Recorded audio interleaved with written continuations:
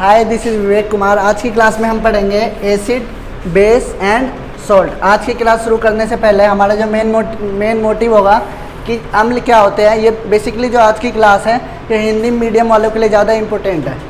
वैसे अम्ल होता क्या है और छाड़ क्या होता है, आज की क्लास में हम इस पर डिस्कस करेंगे और जो भी इसके रिएक्शंस हैं मेटल के साथ अम्ल किस प्रकार रिएक्ट करता है नॉन मेटल के साथ किस प्रकार रिएक्ट करता है, आज की क्लास में हम वो पढ़ेंगे। तो क्लास स्टार्ट करने से पहले हम ये जानते हैं कि अम्ल होता क्या है और क्षार क्या होता है। इनके बीच में एक माइनर डिफरेंस है जो कि आपको पता होना चाहिए, ठीक है? तो अम्ल को कहते हैं, बच्चों, हम एसिड कहते हैं और छाड़ को हम कहते हैं बेस तो अम्ल जो होता है ना, ये स्वाद में खट्टे होते हैं। स्वाद में अम्ल क्या होते हैं? खट्टे होते हैं, यानी कि सौड़ होते हैं ये स्वाद में, ठीक है? और ये होते हैं, स्वाद में कड़वे होते हैं बिटर होते हैं। स्वाद में क्या होते हैं ये? खट्टे होते हैं और ये स्वाद में स्वाद में क्या होते हैं?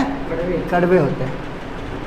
दूसरा जो पॉइंट है इसका ये रिएक्ट ये हमेशा सॉल्यूशन में H प्लस आयन रिलीज़ करते हैं। हमेशा सॉल्यूशन में क्या रिलीज़ करते हैं? H प्लस आयन और ये सॉल्यूशन में हमेशा रिलीज़ करते हैं? एच माइनस आयन ठीक है? ये दोनों में एक मेजर डिफरेंस है बहुत ही इंपॉर्टेंट है। सबसे पहली बात, जो भी चीज़ हम, जो भी हमारा अम्ल होगा तो स्वाद में खट्टे होंगे। जो भी हमारा छाड़ होगा तो स्वाद में क्या होंगे? कड़वे होंगे, इसे इंग्लिश में बिटर कहते हैं, इसे शॉर कहते हैं।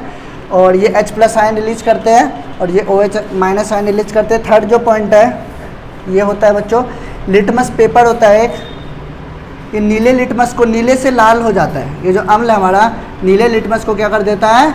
लाल कर देता है। नीले लिटमस पे यदि हम अम्ल की बूंदे गिराएँ तो वो लाल हो जाएगा। और जो तीसरा पॉइंट है, इसका ये बच्चों लाल लिटमस को क्या कर देगा? नीला कर देगा। एक बहुत ही इम्पोर्टेंट हेडिंग है कि अम्ल और क्षार में जो कि हम पिछले क्लास में पढ़ चुके हैं, शायद एट्थ या नाइन्थ में हम पढ़ चुके हैं कि एसिड एंड बेस में क्या डिफरेंस है, ठीक है? तो आज की क्लास की जो अगली पॉइंट होगी, वो पढ़ेंगे कि एसिड किसके साथ रिएक्ट करता हाँ।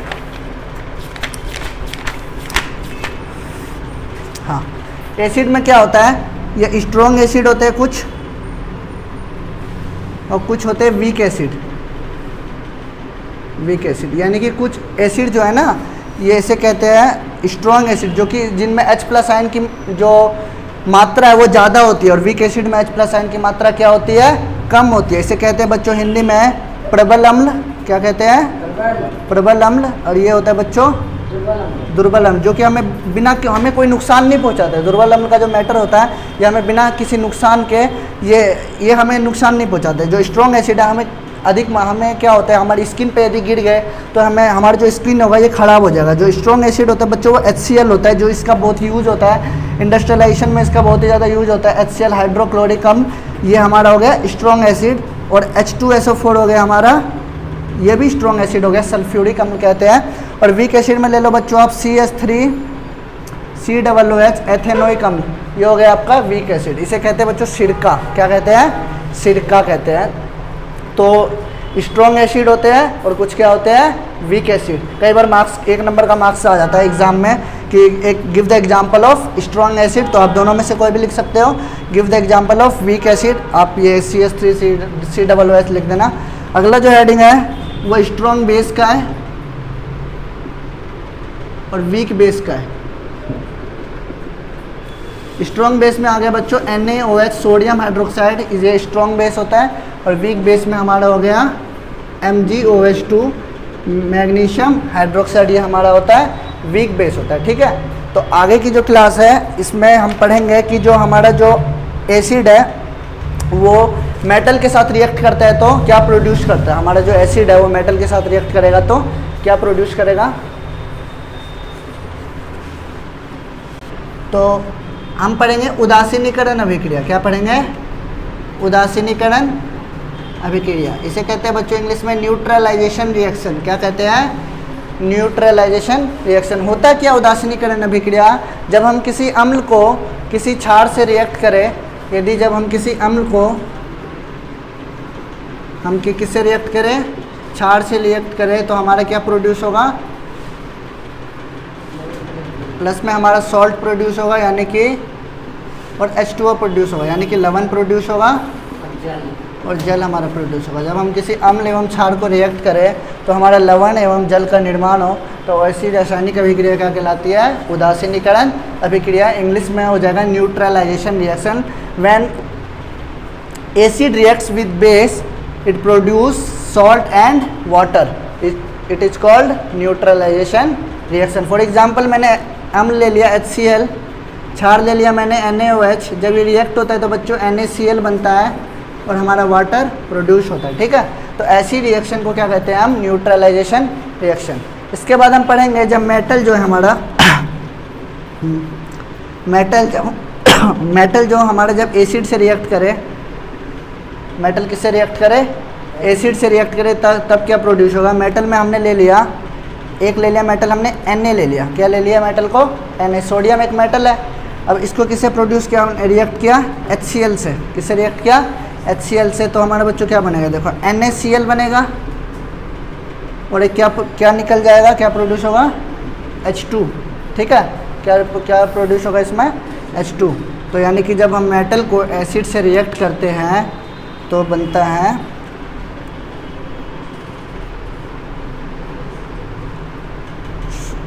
सॉल्ट बनता है। क्या बनता है? Salt and hydrogen gas when metal reacts with acid acid हो गया हमारा एच मेटल हम एन ले सकते हैं, कुछ भी मेटल ले सकते हैं। एन ने जब किया रिएक्ट सी के साथ तो एन प्रोड्यूस हुआ प्लस में हमारा H2 बाहर निकल जाएगा। तो यहाँ पे बच्चों टू लगा लेना। ये बैलेंसिंग इक्वेशन है, यहाँ पे भी टू लग जाएगा। ठीक है? तो acid when metal reacts with acid it produce salt और जो हाइड्रोजन गैस है ना बच्चों, ये हमें क्या इंडिकेट करता है? ऐसा कौन सा साउंड है जो हाइड्रोजन गैस इंडिकेट करता है? वो है पोप साउंड कई बार एक नंबर कहा जाता है, ये कौन सा साउंड है जो हाइड्रोजन गैस के वो इंडिकेट करता है? वो है बच्चों, हिंदी में कहते हैं पॉप तो ये साउंड क्या करता है कि किसी भी रिएक्शन में हाइड्रोजन गैस की प्रजेंस को दिखाता है, ठीक है? आगे है। पीएच वैल्यू पढ़ते हैं थोड़ा। हम क्या पढ़ते हैं? आगे क्लास स्टार्ट करने से पहले हम पीएच वैल्यू पढ़ते हैं, जब तक इसे मिटाते हैं। अभी हम कुछ बेसिक चीज़ों के ऊपर पढ़ेंगे, जो हर बार एग्ज़ाम में पूछते ही पूछते हैं। सेकेंड चैप्टर जो चैप्टर टू का जो मोस्ट इंपॉर्टेंट टॉपिक है, वो अभी हम इसे डिस्कस करेंगे। जो फ़र्स्ट ऑफ़ ऑल हमारा जो है sodium hydroxide N sodium hydroxide इसका प्रोड्यूस कैसे होता है? ये प्रोडक्ट कैसे होता है? इसके यूज़ क्या क्या है? ठीक है? अभी हम इसके ऊपर पढ़ेंगे। जब बच्चों एन को, जब किसको? एन को जब हम वाटर के साथ रिएक्ट करते हैं, किसके साथ रिएक्ट करते हैं? वाटर के साथ रिएक्ट करते हैं तो बच्चों, हमारा एन बनता है। क्या बनता है? एन सोडियम हाइड्रोक्साइड बन जाता है। और हमारे दो गैस जो है, वो बच्चों प्रोड्यूस होते हैं, बाहर निकलते हैं, वो है, एक तो एच है और एक है सी है। ठीक है? जैसे कि एन जो ब्रेक डाउन होगा आयंस में तो एन प्लस और सी माइनस में ब्रेक डाउन होगा एच टू ब्रेक डाउन होगा एच प्लस और ओ OH माइनस में। तो जो प्लस साइन है वो नेगेटिव साइन से रिएक्ट करेगा एन प्रोड्यूस होगा, एक H2 बाहर निकल जाएगा और एक जो दूसरा गैस है बच्चों को निकल जाएगा Cl2 निकल जाएगा। आप इसको बैलेंस कर लीजिएगा, ठीक है?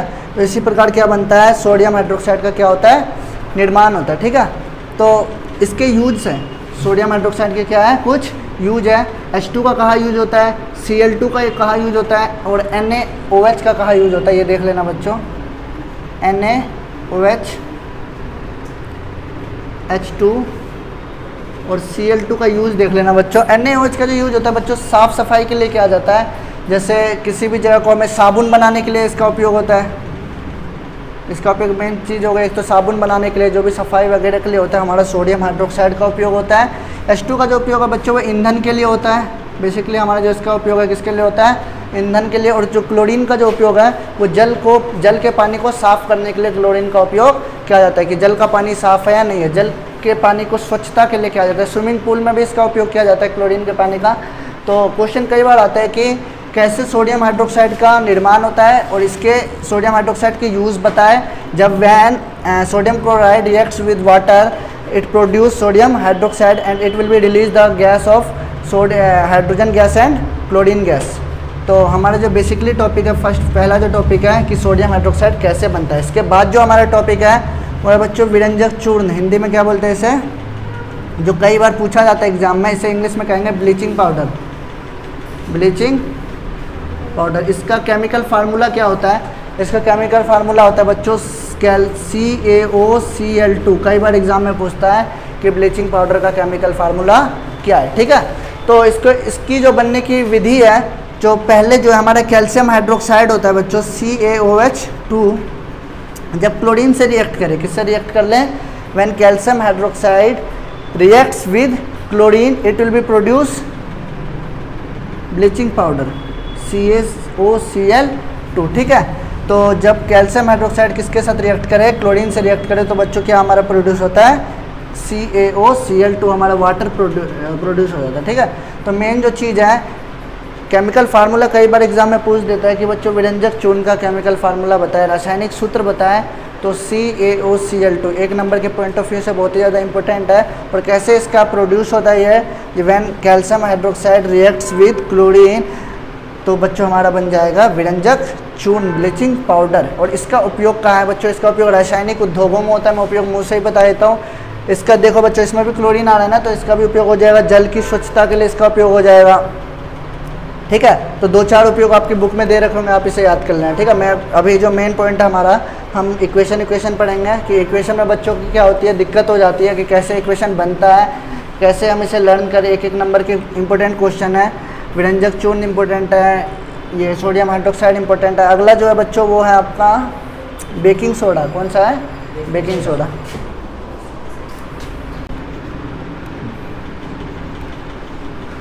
थर्ड जो है बच्चों, हमारा बेकिंग सोडा है। क्या है? बेकिंग सोडा इसका केमिकल फार्मूला क्या? कई बार एग्ज़ाम में पूछा जाता है। इसका केमिकल फार्मूला बच्चों N A H C O three sodium hydrogen carbonate इसका केमिकल फार्मूला क्या है? सोडियम हाइड्रोजन कार्बोनेट ये कैसे प्रोड्यूस होता है? जब बच्चों एन में को H2O से रिएक्ट करे CO2 से रिएक्ट करें एंड अमोनिया से रिएक्ट करें। जब ये चार चीज़ों से रिएक्ट होता है तो बच्चों अमोनियम क्लोराइड बनता है, और हमारा बेकिंग सोडा बनता है। क्या बनता है? बेकिंग सोडा ये ऐसे तुम्हें बच्चों ये दिक्कत हो जाएगा याद करने में। तो, तो एक सिंपल सा फार्मूला है। एनएससीएल बेसिकली हमारा सॉल्ट होता है। क्या होता है? सॉल्ट होता है। जब नमक में हम पानी डालें कार्बन डाइऑक्साइड डालें या फिर अमोनिया डालें जब चार चीज़ों को पॉइंट पॉइंट से आप याद कर लो नमक पानी कार्बन डाइऑक्साइड और अमोनिया जब ये रिएक्ट हो जाएँगे तो अमोनियम क्लोराइड बनेगा और ये क्या बनेगा? बेकिंग सोडा का प्रोड्यूस होता है। तो पूछ सकता है कि बेकिंग सोडा किस प्रकार प्रोड्यूस होता है। उसके लिए आप रिएक्शन लिखिए ठीक है? बेकिंग सोडा का बच्चों, अब क्या होता है ना, बेकिंग सोडा को जब हम हीट करें तो क्या प्रोड्यूस होगा? कई बार क्वेश्चन पूछा जाता है कि क्या होता है जब बेकिंग सोडा को गर्म किया जाता है? या फिर ये भी पूछता है when when what happened when when baking soda reacts with oxygen यानी कि जब इसे गर्म किया जाता है। बेसिकली जब बेकिंग सोडा को हम क्या करते हैं? गर्म करते हैं। यानी कि N A H C O three को जब डेल्टा साइन होता है बच्चों हीट का जब इसे गर्म करते हैं ना तो ये आयंस में टूट जाता है। सॉरी ये अपने प्रोडक्ट में टूट जाता है। N A two C O three sodium carbonate में टूट जाता है बच्चों, और CO2 निकल जाता है बच्चों, और H2O ठीक है? तो ये तीन पॉइंट है। जब when when sodium hydrogen carbonate react जब इसे बर्न किया जाता है, जब इसे, और जब इसे हीट किया जाता है तो ये ये तो टूट जाता है sodium hydrogen carbo sodium carbonate में कार्बन डाइऑक्साइड में एंड जल में, ठीक है? तो कई बार पूछा जाता है, क्या होता है जब बेकिंग सोडा को गर्म किया जाता है? ठीक है? ये इंपॉर्टेंट क्वेश्चन है। इसका बच्चों, ये रिएक्शन ये हो जाएगा। इसका यूज़ होता है बच्चों, जैसे आपने देखा होगा, पकोड़े वगैरह, खास्ता पकोड़े होता है, उनको फुलाने के लिए इनका उपयोग होता है बेकिंग सोडा को। ठीक है? जैसे केक वगैरह में भी इनका उपयोग होता है। आप पाव में देख ले सकते हो, पाव पाव रोटी में देख सकते हो, यानी कि किसी भी चीज़ को खास्ता, कचौड़ी, पकौड़े इन सब में क्या होता है, बेकिंग सोडा का उपयोग होता है, ठीक है? तो ये एग्ज़ाम के पॉइंट ऑफ़ व्यू से सबसे ज़्यादा इंपॉर्टेंट है, ब्लीचिंग पाउडर भी इंपॉर्टेंट है, बेकिंग सोडा भी इंपॉर्टेंट है, ये पाँच पॉइंट है जो कि एग्ज़ाम में पूछते ही पूछते हैं। तो थर्ड जो पॉइंट था हमारा, वो था बेकिंग सोडा। तो चौथा जो पॉइंट है बच्चों, हमारा वो है धावन सोडा। कौन सा है? धावन, इसे कहते हैं वाशिंग सोडा। क्या कहते हैं? स्केच आ रहा दिख रहा है तुम्हें ये स्केच? नहीं दिख रहा दिख रहा है ना सही से? वॉशिंग सोडा का केमिकल फार्मूला क्या है? सबसे बड़ी बात है वॉशिंग सोडा का केमिकल फार्मूला क्या बहुत ही। ईजी है N A two C O three ten H two ये है बच्चों, एक नंबर का पूछ देता है। जैसे बेकिंग सोडा का ये है, हमारा सोडियम हाइड्रोजन कार्बोनेट तो N A two C O three into ten H two ये हमारे किसका ये हमारे किसका केमिकल फार्मूला है? वॉशिंग सोडा का, ठीक है? तो ये कैसे प्रोड्यूस होता है? जब सोडियम कार्बोनेट को, जब हम ten molecules of H two से रिएक्ट करें तो हमारे किसका निर्माण होता है? धावन सोडा का। तो यानी कि जब sodium carbonate N A two C O three जब ten moles of H two से हम रिएक्ट करेंगे तो बच्चों हमारे किसका निर्माण होगा? सोडियम तो हमारा बच्चों हो जाएगा हमारा धावन सोडा का। किसका निर्माण होगा? वाशिंग सोडा का, ठीक है? इसका यूज़ क्या होता है? विरंजक चूर्ण के लिए होता है सॉरी इसका यूज़ होता है बच्चों, साफ़ सफ़ाई के लिए होता है, ठीक है? तो आप यूज़ देख लीजिएगा। इसका यूज़ साफ़ सफ़ाई के लिए होता है, जैसे किसी भी चीज़ का साफ़ करना है, ठीक है? लकड़ी के लिए भी इसका यूज़ होता है, साबुन के लिए भी इसका यूज़ होता है। ठीक है, कांच के लिए इसका यूज़ किया जाता है, इंडस्ट्री में इसका यूज़ होता है अक्सर बहुत ज़्यादा। तो ये धावन सोडा है, ठीक है? ये कुछ पॉइंट है, ये सॉरी ये इक्वेशन है। आप इसे देख लीजिएगा एक बार, जब one sodium carbonate reacts with 10 moles of H2O what what will be product ये washing soda N A two C O three into ten H two बहुत ही ईजी है। यहाँ पर प्लस है, यहाँ पर ये साइन इंटू में बदल जाएगा, ठीक है? यानी कि एक साथ हो जाएँगे। यहाँ पर प्लस में था सेपरेटली थे यहाँ पे दोनों। यहाँ पे दोनों प्लस साइन हटा कर क्या हो जाएँगे। ये ये रिएक्शन हुआ इनका। कि वॉशिंग सोडा का रिएक्शन कैसे होता है और बेकिंग सोडा का रिएक्शन कैसे होता है इससे पहले हमने पढ़ा था ब्ले, ब्लीचिंग पाउडर पढ़ा था उससे पहले हमने पढ़ा था सोडियम हाइड्रोक्साइड पढ़ा था ये हमारा लास्ट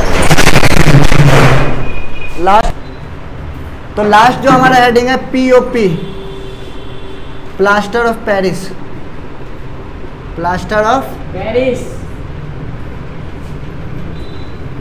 ठीक है? कैसे जिप्सम बनता है, कैसे जिप्सम प्रोड्यूस होता है, किस प्रकार जिप्सम का का निर्माण होता है, ठीक है? तो इस रिएक्शन में पढ़ेंगे जिप्सम किस प्रकार बनता है। प्लास्टर ऑफ़ पेरिस का केमिकल फार्मूला क्या है? इसका फार्मूला बच्चों कैल्शियम सल्फेट अर्ध hydrate half H two C S F four and half H two इसका होता है बच्चों पीओपी का ये हमारा केमिकल फार्मूला रासायनिक सूत्र। ठीक है? तो पीओपी से ही बच्चों जिप्सम का निर्माण होता है। पीओपी से किस पीओपी से किसका निर्माण होता है? जिप्सम का। जब कैल्शियम सल्फेट को,